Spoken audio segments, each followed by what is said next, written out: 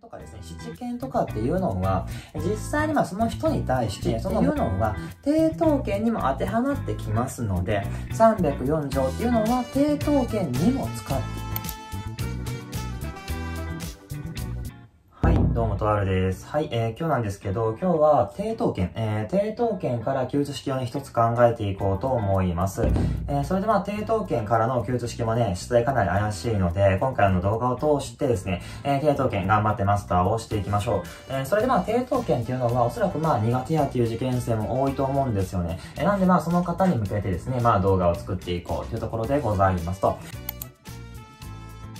一応で、それでまあ、この動画を撮影している時が、えー、月曜日ということでですね、えー、一応まあ、昨日で、えー、予備試験とか、えー、司法試験がまあ、えー、一旦まあ、一区切りついたというところだと思うんですけれども、えっ、ー、とまあ、その受験された方々はお疲れ様でしたと。えー、それでまあ、僕自身まあ、来年度受けるということでですね、えー、まあ、その過去問手に入ったらすぐにまあ、解いてみてですね、えー、で、その中で、その行政書試験に還元できる部分、まあ、それがあればね、えー、こちらの方の動画にも還元していこうと思っております。はい、それでですね、あの、まあ、やっていこうと思うんですけれど、あと、あとまあ、行政書士の試験の受験生は、その予備試験とかの担当とかは解かなくていいですし、えー、それは全く違いますので、まあ、解かないでいいと、えー、思いますと。えー、とりあえずまあ、行政試験の過去問ですね、えー、ウォーク問とか、えー、っていうのにまあ、集中して取り組んでいきましょう。えー、それでまあ、今回はですね、まあ、低等権に関する記述式と、えー、そこを通していってですね、まあ、低等権に関する基本事項、それも、えー、マスターといいますか、えー、基本事項を確認していきましょうと。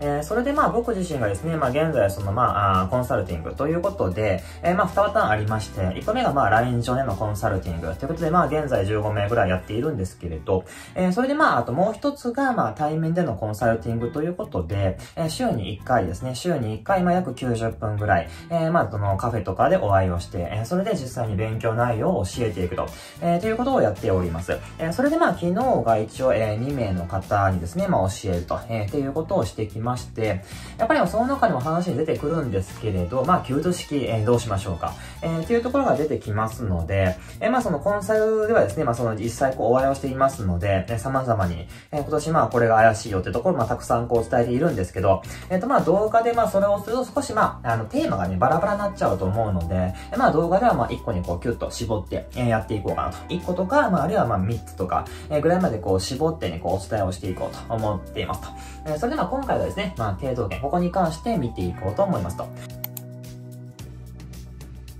それで、まずですね、まあ、抵当権に関する基本的な性質、これを一つお伝えしていきたいんですけれど、えー、まず、あの、抵当権っていうのは、まあ、こういう風な状況でですね、えー、まあ、A さんが、えー、B さん、えー、B さんが、まあ、銀行にしましょう。銀行。銀行から A さんお金を借りています。お金を借りる。で、お金を借りるときっていうのは、基本的には担保をね、設定するんですよ。で、担保ってものが何かっていうと、まあその保険ですね。お金をちゃんと返せなかった場合の保険っていう風な感じなんです。それでまあ、B さんは A の持っている建物ですね。建物に対して抵当権を設定していく。それでまあ、抵当権っていう風な権利が何がいいかっていうと、担保に設定しても、依然として A さんはこの建物を使用収益することができるんです。で、使用収益。これが何かっていうと、まあ、使用なので、まあ、使うことができる。要するに、まあ、A さん、この家に対して住み続けるということができるんですよ。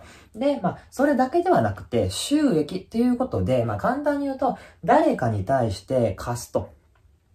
その家を誰かに対して貸して、それでまあ、家賃収入っていうふうな賃料。えー、それはまあ、あの、稼ぐと言いますか。えー、っていうことはね、してもいいんですよね。えー、っていうふうに A さんは使用収益、えー、そういうことができるし、誰かに対して貸して、それで家賃収入を得るっていうこともできるんです。これがね、抵当権の大きな特徴でございます。えー、っていうのと比べていくならば、例えば、七権とかですね、七権とかっていうのは、実際にまあその人に対して、そのものを占有を移転させる。要するにそのものをまあ渡しますから、実際にもう使うことができなくなると。えー、っていうふうな点で、まあ違いがあるんですよね。で、そことまあ軸、そこを軸として発生させていくものが譲渡担保ってものだって、えー、こういう風な抵当権のように占有を移動させなくても使い続けてもいいと。えー、かつ、これは不動産ですよね。抵当権とかは不動産についていきますから、動産。時計とか、まあ、その、えー、工場内の機械とか、そういうふうな動産でも同じようなこと。動産でも専用移動させないけれど担保に入れていこうと、みたいな。っていうことをしてもいいようにしていこう。っていうふうな制度が譲渡担保っていうふうに言いますから、一応まあそういうふうにまあ整理をしておくといいかと思います。えー、それでまあ抵当権に関して見ていきますと、えー、まあ抵当権、実際例えば A さんが、A さんがお金をしっかり返すことがね、できなかったと。A さんがお金をしっかり返すことができなかったら、B さんはこの建物を定売、まあオークションですね。オークションに出すことができて、えー、そこでまあ誰かが買ってくれますから、その買ってくれた売買代金ですね。えー、買ってくれた売買代金から B さんは、このまあ貸したお金を回収するっていうことができると。えー、これをね、抵当権というふうに言います。それで、まあ、抵当権っていうのには、抵当権には、まあ、効力の及ぶ範囲、抵当権ってどこまで範囲が及んでいきますかっていう問題点があるんですけど、えー、そこの話の一個として、えー、こういうふうな賃料債権ですね。賃料債権。この抵当権は家についていて、家とはまた違うんですけど、この賃料債権っていうものも結局はこの家から発生して発生しましたよね。家から発生して発生したわけです。だから B さんはこの賃料に対しても抵当権をこう行使してていくっていうことができるんです。っ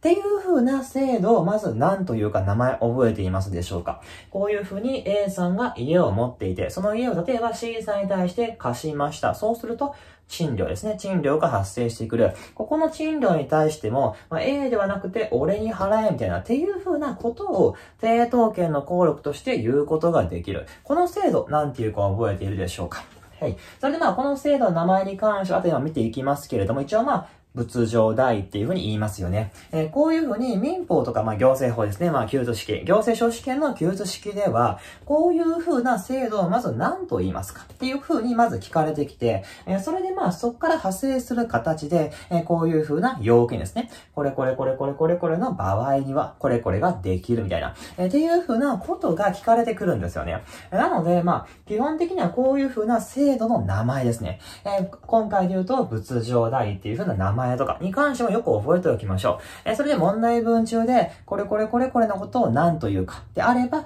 えこれを仏上代というっていうふうにね、えっていうふうに書いてもらえたら、そこに対して点数が入っていきますと。ということで、日頃の学習では、こういうふうな名称ですね。そこに関しても焦点を当てて学習を進めていきましょう。そして、まあ、今の話をね、あの、派生させていきますと、えー、民法のね、条文で言うと、304条に書いてるんですね。304条。で、えー、ここから軽く基礎学、基礎法学に関関する話も軽く入れていこうと思うんですけど、え民法の304条には、先取り特権は、えその目的物の売却、ね、売却、賃貸、滅失、損傷。主にまあ、売却と賃貸。この2個だけ覚えておきましょう。売却、賃貸。売った時の売買代金とか、貸した時の賃料とかっていうものがあると。それによって、債務者、今回で言うと A さんが、えー、受けるべき金銭、その他のものに対しても行使することができると。えー、要するにまあ、こういう風な賃料ですね。えー、そこに対しても行使することができますよっていう風な条文がございますよ。ただ、これは、先取り特権はって書いてますよね。先取り特権は。えでも今回、抵当権、どうなるかというと、これは372条、372条っていう風な、えまた別の条文があって、えこちらの条文によるとですね、296条、え304条ね、304条、および351条の規定は、抵当権について準用するって書いてますね。えこの準用っていう風な言葉のイメージを今回掴んでおきましょう。要するに、さっき見たのは、304条は、先取り特権はって書いてます。この先取り特権はっていう風な、この304条のお話っていうのは、抵当権にも当てはまってきますので、304条っていうのは、抵当権にも使っていこうっていう風な感じを順用っていう風に言いますから、このイメージ押さえておいてください。そして一方でもし、この話が先取り特権の場合に関しては、シンプルに304条を適用していくってなりますから、適用と順用用の違いに関しては、えー、基礎学ですね。そこで問われたりしますので、今回の通して覚えておきましょう。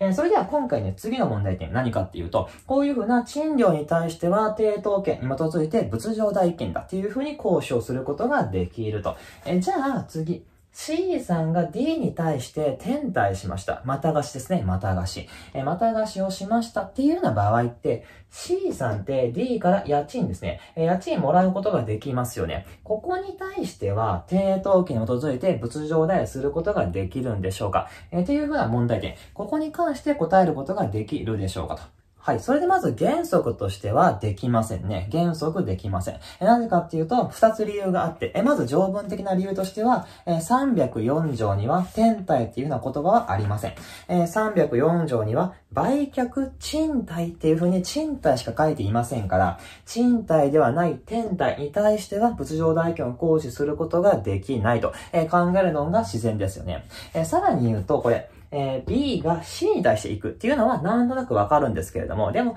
D さんっていうのは D さんからすると B とは全然もうね、赤の他人ですよね。だから赤の他人から急に俺に払えっていうふうに言われても、いや、あなた誰ってなりますよね。っていうふうな状況もありますから、そういうふうな観点から、この天体に対しては部長代金を行使することはできないと。えー、ということで、えー、賃料に対してはできるんだけれども、天体はできないと。っていうのがまず原則論ではありますが、ここに対しては、ここに書きましたが、天体へ行けるようなケースってありませんかっていうふうな例外がありますので、そこの箇所覚えておきましょう。判例で言うと、再犯平成12年の4月14日の判例。えー、こちらの方で、この天体に対しても、仏上代権行使しても OK っていうふうな例外があって、そこの箇所を必ず覚えておきましょう。答えとしてはこれ。C を A と同視することが相当と言える場合。そういうふうな場合には、この天体ですね。天体に対するこの天体良債権。で、ここに対しても仏上代金を行使することができます。それで、これね、C を A と同士することが相当ってどういうことかっていうと、これ、A と C、A と C、C と A、この二人が少しグルになっているっていう風なケースを考えていきます。グルになっているケース。で、えー、グルになって A が C に対して、これ、えー、家を貸したことにしておこうと。ね。家を貸したことにしておこうっていうこととか、あるいはめちゃくちゃ安い家賃。例えば、1ヶ月5円とか、もうそれくらい。1ヶ月5円とかで貸し出しておく。えー、そして C は D に対して、例えば1ヶ月10万とかで貸し出していく。っていう風にやっていく。そうなると何ができるかっていうと、AC で話し合うことによって、仏上代を免れるっていうことができるんですよ。えつまりはこれ、えー、ま、まず原則論として、賃料に対しては部長代金を行使することができる。けれど、定体に関しては部長代金を行使することができない。この性質を逆手にとって、あえて AC 間で1回ダミーの賃貸をかましておこうと。1ヶ月5円とかでまず賃料を発生させる。その後に CD 間で本当に貸したかった人間に対して貸していく。ってなってくるとどうなるかっていうと、B はここに対して1ヶ月5円ですね。だから5円。5円に対してしか部長代金を行使することができないっていう風な状況を作っておいて、それで CD 間で、まあ、1ヶ月10万円とかで貸していく。そうするとこれ10万円持ち逃げすることができますね。こういう風な物上代金を、の抜け穴、それをくぐっていくような、そういう風な AC 間の関係性があるんだったら、それはもうこれ天体っていう風な形式をとっているけれど、実質は賃貸と。えという風に考えて、ここに対して物上代金を行使しても OK というふうな場合がありますので、それが再犯平成12年の判例でございます。また確認しておいてください。いずれですよね、こんな感じで。賃料や天体に対して抵当権を行使しても OK という風な制度を何と呼んで、そしてこの天体ですね。ここに対して仏像代権を行使してもいいのはどういう風な場合かって聞かれたら答えは2つで。まず1個目が仏上代と呼び、そして C を A と同志することが相当。同志相当ね。と言える場合には、えー、行使することができるっていうふうに答えてください。はい、一応まあそういうところでございました。なのでまあ今回の動画を通して抵当権に関してね、えー、必ず理解をしておきましょう。それでは抵当権に関して他にもね、様々な重要事項ありますから、まあ基本事項に関してはですね、えー、僕の提供している YouTube の、えー、講義チャンネル、そちらの方の講義とか、まあノートの講義とか、えー、様々利用していって、それでまあ抵当権に関しては、えー、マスターをしていって、今年の試験乗り切っていってください。えー、というところでございました。以上、バルでした。